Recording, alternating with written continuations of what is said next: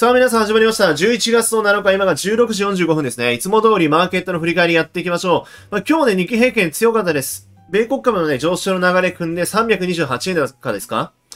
で、ドル円に関してはね、147円の半ばぐらいで動いてるんですけど、まあ、個別銘柄、やっぱ資源が上がったことによって、そこあたりの関連銘柄、商社とかも強かったですよね、今日ね。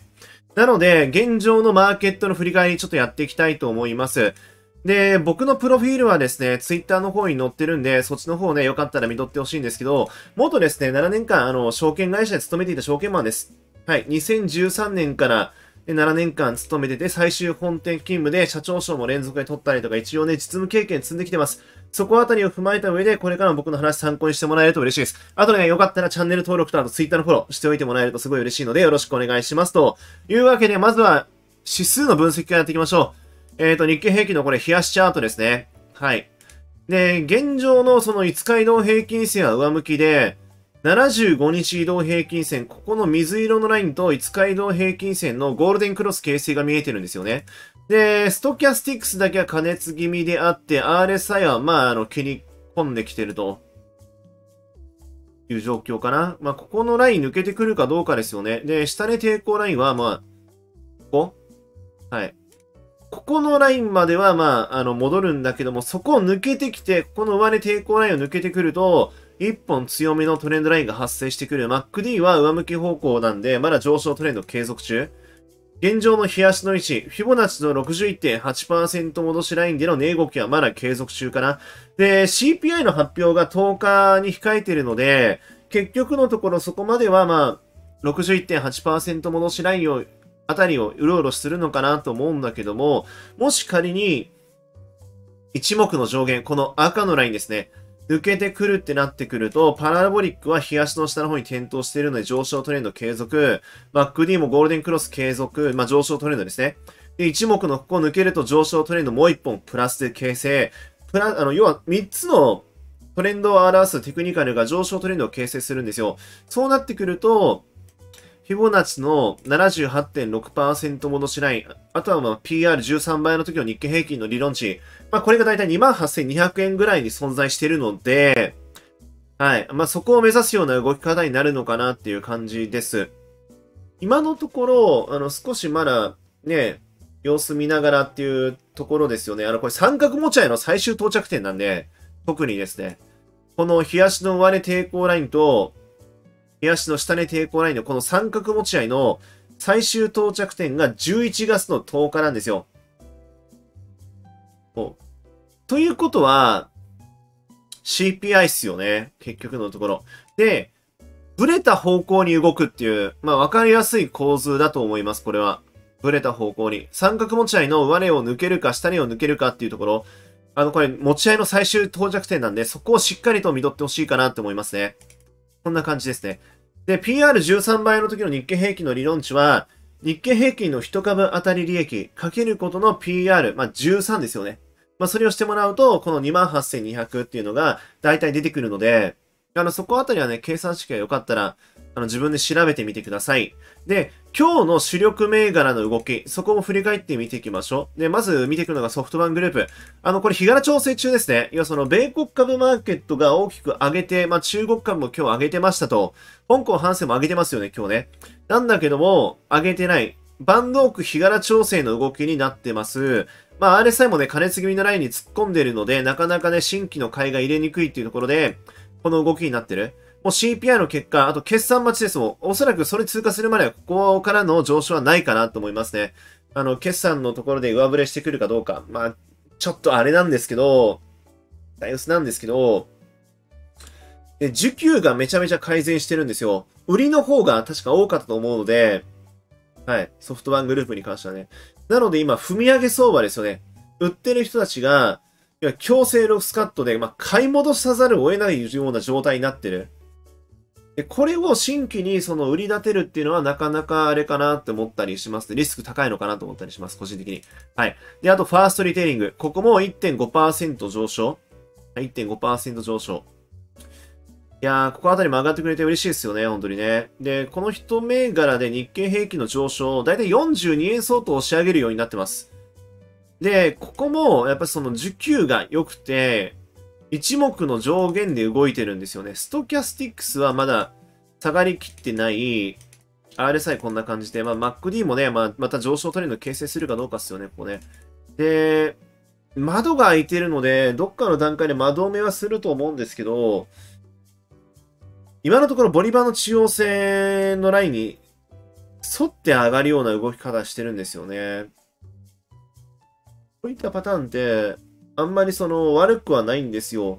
いや、その25日であったり、ボリンジャーバンドの中央線のラインに、が切り上がってる段階、そこに沿うような動き方をしてくると、要はその下値が、ま、硬いっていうところの判断で、上にスルスルスルって上がっていくパターンが、あのー、たまに形成されるんですよね。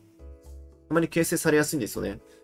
はい。まあまあ、そういった形です。で、東京エレクトロンも今日4%上がったで、この一銘柄で、これがあの上昇寄与のトップなんですよ、日経平均の。49円、まあ大体50円相当の押し上げ要因なってる。まあ3.79%上昇で、まあ一目の下限のラインですよね。この緑のライン、トライという形になってます。トライという形に。で、ここのその、ネックラインですね。ダブルボトム形成した後のネックラインをまだ超えきれてない。まあ下回ってないのが重要なんですよね。ダウ理論的なところで言うと、下回ってないというところが重要なんで、ここの半値戻しラインは何としてもキープしたいところ。この高値安値の、まあ、半値戻しのここですね。だから39,300円ぐらいかな。そこは何としてもキープしたいところ、オリバンの中央線25日移動平均線横横。え、まあ、ここも決算近いんですけどね。通、通常だったら一目の壁にぶつかって中に入ってトレンドの転換ライン入って少し値動き軽くなって上に行くっていう、そういったパターンになりやすい。ただし、上がったとしても、この銘柄は注意が必要です。なんでかっていうと、信用の改ざんめちゃめちゃ多いし、6月の高値期率が12月の7日に来るの。上がったとしても、おそらくここに向けてまた下がってくると思う。強制ロスカットが入ってくるから。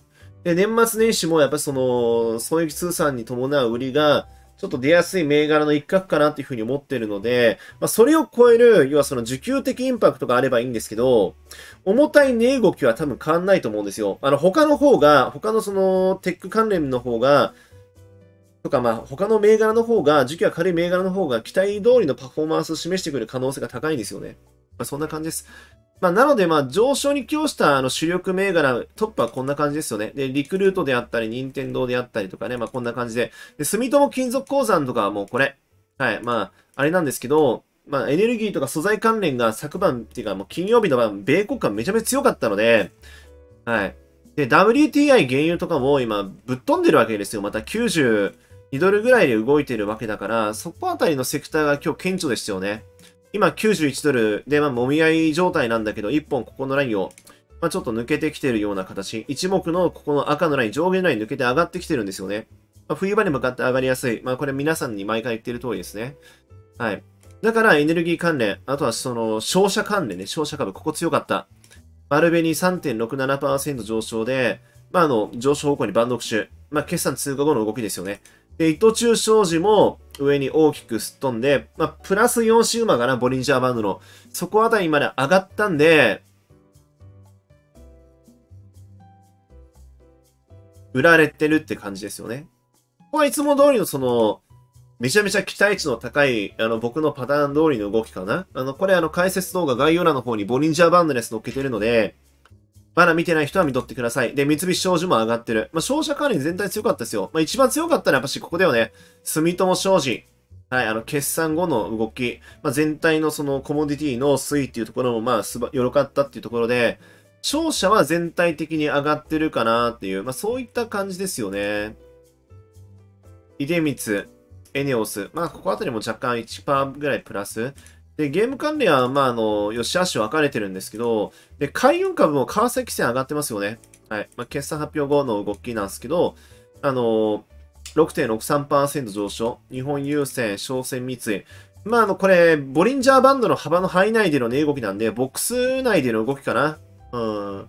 ちょっとね、あの、川崎に関しては出来高が伴って上がってるなっていう、まあ、そういった動き方をしています。まあ、あの、大体、あの、だから今日のその、主役、まあエネルギー関連、あとその増配とか発表したところとか結構強かったですよね。あと、半導体株も全般的に強かった、あの、太陽誘電。まあ、強いって言っても若干戻ってるだけなんですけどね。村田とか東京エレクとか、まあ、ボトムから見ると、あの、トップダウンから見るとまだ全然戻ってないんですけど、まあ、今日の単日だけの動きで言うならば、まあ、ソックス指数がやっぱし4%上がったから、アメリカの。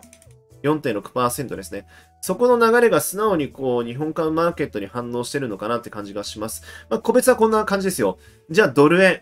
さっきあの冒頭部分でね、147円の半ばぐらい推移してるよっていうふうに言ったんですけど、ここはまだその調整の動きがあの進んでません。進んでます。調整の動きがね。で、5日と25日とデッドクロス形成がちょい見えそうなんですよね。この水色のラインと黄色のラインのデッドクロス形成。まあこれ組まれてくると、おそらく一旦スルって下がって、まあ一目のこの壁にぶつかるような動き方になる可能性があるんだけども、このラインですね。はい。このラインですね。まあ、アメリカのさじ加減したいですよね。CPI がいいものが出てくるのか悪いものが出てくるのか。確か予想が7.9%で、あの、若干鈍化してくるだろうというふうに言われてるんですよね。今日関連記事を Twitter の方でリツイートしてます。で、また別、それとは別件でね、やっぱその、GAFAM、レイオフっていうかね、やっぱそこあたり進みますね、またね。メタ、数千人規模のレイオフを近々発表する。まあ、9日ぐらい、11月の9日ぐらいに出てくるんじゃないかっていうのが、要はその関連記事として今日大々的に出てきてるので、で全体的にね、リストラの動き、もしくはあの雇用の一時停止の動きっていうのが、アメリカの大手企業に出ている。良し悪しなんですよね。日本と全然違いますよね。悪かったら切るんですよ。雇用をね。はい。悪かったら。それであの無駄なコストを削減してから、まあ、それが交換されて株が上がるっていうパターン結構あるんですけど、あるんですけど、もう全然そのアメリカと日本とではもう対応の仕方が違う。もうこれでかいですよね。日本ってやっぱしそう簡単に、やっぱし雇用をやめさ、やめるっていうか、まあ、あの、リストラさせるっていうのは、やっぱし文化的なところで難しいところがあるから、終身雇用だから。で、そこと全然違いますよね、対応がね。悪い時には悪い時なりのこう、やり方をしてくると。まあ、それがやっぱしその、良し悪しはありますけど、もちろん。はい。会社として良くても、やっぱし雇われてる側からしたらいきなりね、やっぱしもう出てけみたいな感じ言われたら、荷物まとめで、やっぱしあの、きついですからね。何言われたら。まあ、そんな形で動いてるかな。で、ドル円がこういった値動きしてるので、ドル建ての日経平均は若干その上昇してる形。円高の方に少し進んでるから。で、まだこれボックス圏内の動きなんですよね。で海外投資家が見ているのがこのドルベースの日経平均です。なんでかっていうと、為替の変動リスクあるから。で、円高、円安が一服して、これから円高の動きが加速するよってなってくるとどうなるかっていうと、円を買う動きが出てくるわけですよね。今の円安水準めちゃめちゃいい水準だから、あの、今のうちに、いや、その安かった円を買っておこう。で、ただ買うんじゃなくて、それを他の資産に投資しようとか、例えば日本株であったりとかね。そういった動きにつながってくれたら、あの、すごい嬉しいんですけど、まだね、海外投資家ね、今回出てる投資主体別売買動向で830億円相当しか買ってないですからね。まだ本格的な買いの手が入ってないような状態。だから何か待ってますよね、きっかけをね。おそらく円安トレンドの終焉っていうところだと思います。はい。海外買ってないけど、おそらく個人が買ってるという。あとは年金ですよね。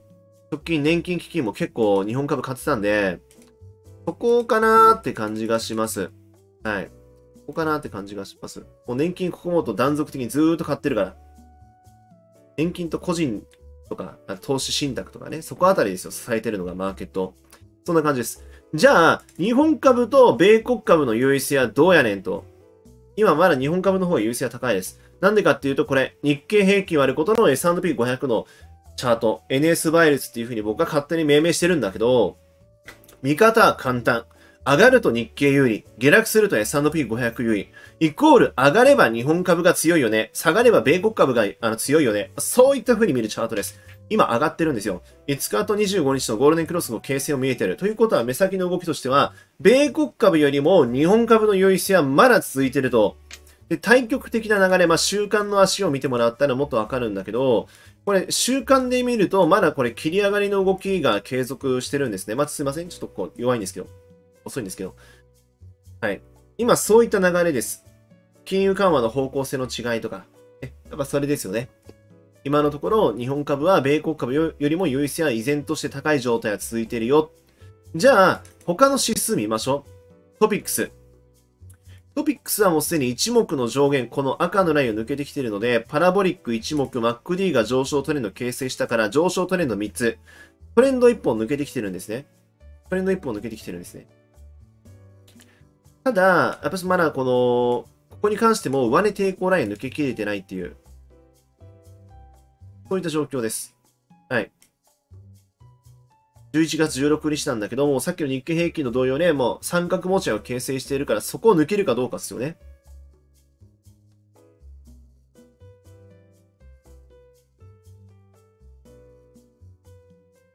フィボナッチラインは61.8%戻しライン、今ちょうど。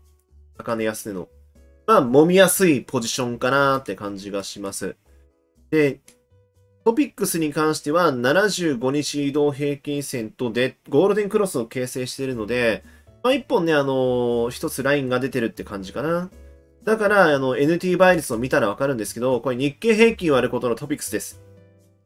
日経平均割ることのトピックス。上がれば日経平均より、下落すると日経よりもトピックスが優位性が高いっていう風に見るチャートなんですけど、今日単日では上がって、まあ日経平均の方が優位なんだけども、対極的なトレンドで言うと下向きなんですよ。日経平均よりもトピックスへの寄与度の高い、要はその時価総額の大きい銘柄の方が優位性は高いよねって、そういった動きになってます。ということは、あの今の直近までの動きで言うと、トピックスの方が日経平均よりも強いっていう流れですよね。順番で言うと。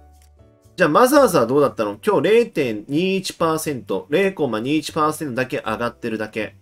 で、25日移動平均線かな、この黄色のラインでボトムを打って、まあ、次また上がってくるかどうかっていう、そういう動きしてますよね。で、MacD これデッドクロス形成間近なんですよ。通常 MacD がデッドクロス形成するならば、下向きのスイッチがちょっと入りやすいという、そういった状況なんですよね。で、ここのライン、まあ、若干割ってしまって少しトレンドも崩れてきてる。だから、あの、マザーズ弱いんですよ。でその流れはここでも見えてる。これ、トピックス割ることのマザーズ。上昇するとトピックス優位。下落するとマザーズ優位。で、これ上げてますよね。はい。マザーズのチャートの形、トピックスと比べて、やっぱちょっと弱めなんですね。だから、マザーズよりもトピックスの方が優位性が高いよっていうのは、この TM 倍率からも見て取れる。じゃあ、日対日経平均に対してはどうなの？これ日経平均割ることのマザーズ。まあ NM バイルスって僕は勝手に言ってるやつですよ。NM バイルスって。はい。勝手に僕が作って、この計算式をみんなにあの、紹介とかずっとしてるんですけどね、これ2年ぐらい前からずっと使ってるやつなんですよね。で、すごい参考になるって言ってくれる人がすごい多いから、はい。必ず見とってくださいって皆さんにもお伝えしてるんですけど、これは上がると日経より、下落するとマザーズより上がってるんですよ。ということは、マザーズよりも日経平均の方が優位性が強いんですね。だから今のマーケットの強さの順番、トピックスが一番強い。で、その下に日経平均、マザーズ。この順番です。この順番です。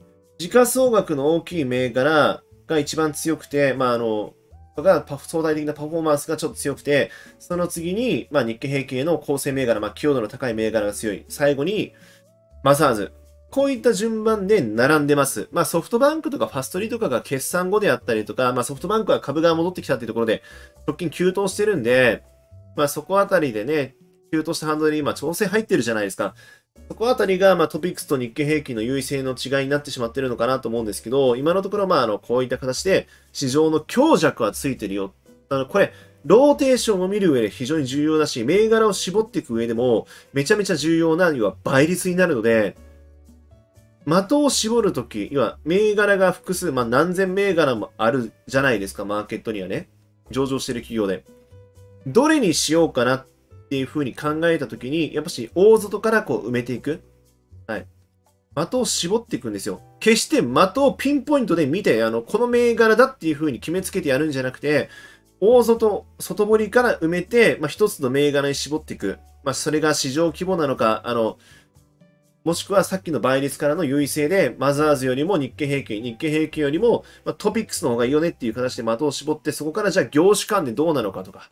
で、エネルギーセクターがじゃあ上がってるから、その時価総額の大きいやつでも、エネルギー株にちょっと絞って銘柄を見てみよう。そしたらパフォーマンスが、あ、良かったとか、相対的にね。そういった形でやっぱし的を絞るべきなんですよね。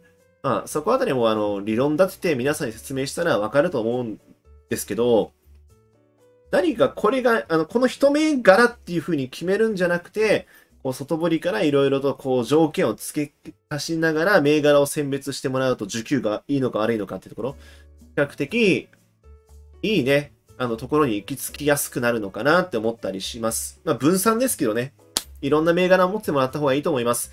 今のマーケットはやっぱしリスク管理重要なんで、売り上がっていくっていう考え方は、やっぱし年末まであの油断せずにやっていきましょう。まあ、ビックス指数が変な動きしなかったらいいですよ。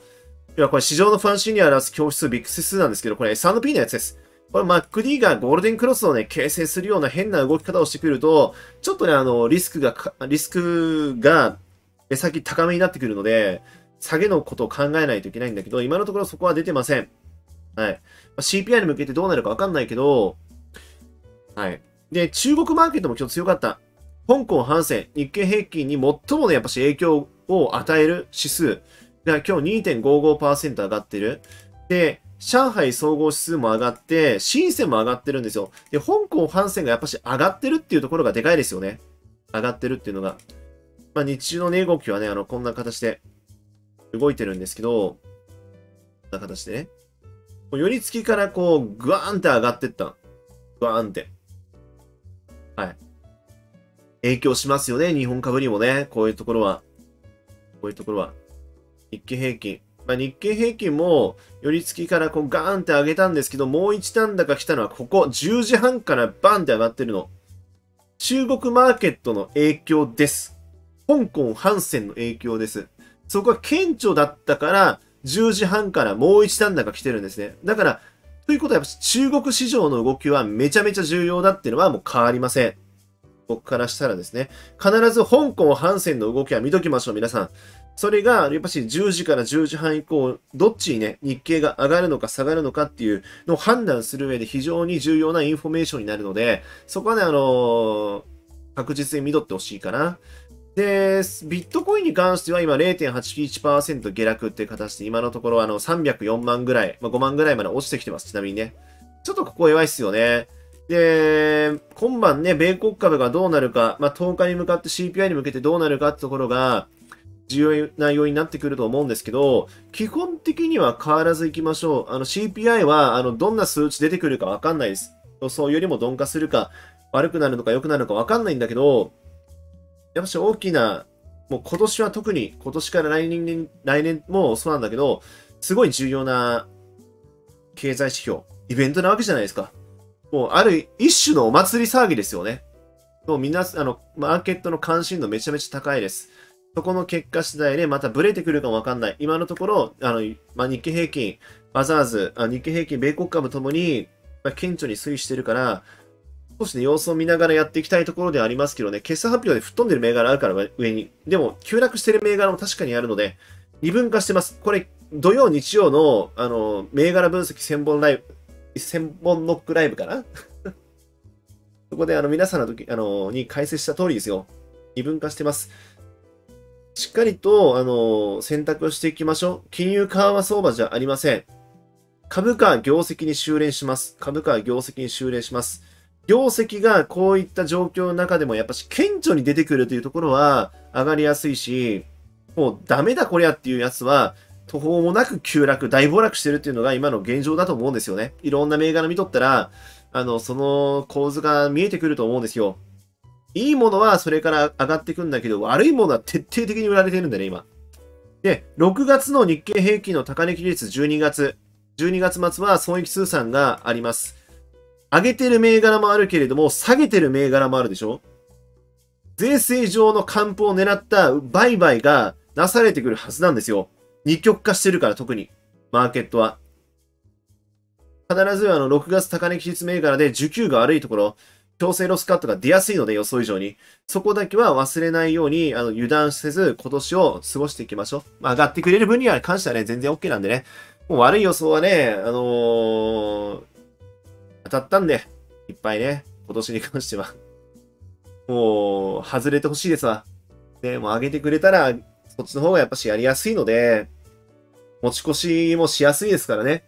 そういった相場に早く戻ってきてほしいなっていうふうに思います。なのでまた動きがあったらとりあえずすぐにね、YouTube、Twitter、この2つのプラットフォームを使って皆さんの方に情報配信していくので、よかったらチャンネル登録とあと高評価ボタンね、よかったら押しておいてもらえると。あと、ツイッターのフォローも合わせてしておいてもらえると嬉しいです。あと、最後に皆さん、あの、いつも通り相場感ね、皆さんのあの、今日のマーケットを振り返った感想であったり、コメントであったりとか、まあ、何でもいいですよ。よかったら、あの、コメント欄の方に残しててもらえると嬉しいので、よろしくお願いします。今晩また22時からライブします。皆さん、あの、夜、ライブ配信でお会いしましょう。またね。お疲れ様です。